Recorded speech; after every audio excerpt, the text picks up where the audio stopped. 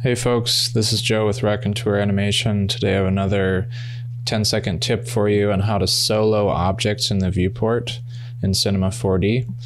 So, just to jump right in here, um, we're going to go to Window, Customization, Command Manager, type in solo, viewport solo, and I have this set to Command tilde, which is the key with a squiggle on it right next to the number one on your keyboard.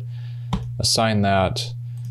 And now when you click on objects in your viewport, do your command or control tilde, it solos them.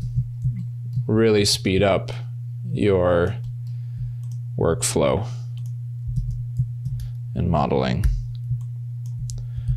Makes it much easier to work in complex scenes. Another tip that say I wanted to work on an entire assembly, for example, this wall.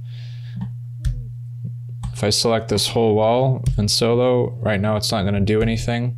So if I click on this button here, toggle on the viewport solo hierarchy option.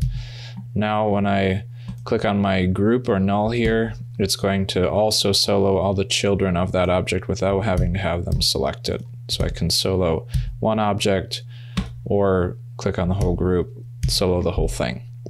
Hope that's helpful and speeds up your viewport navigation. Ciao.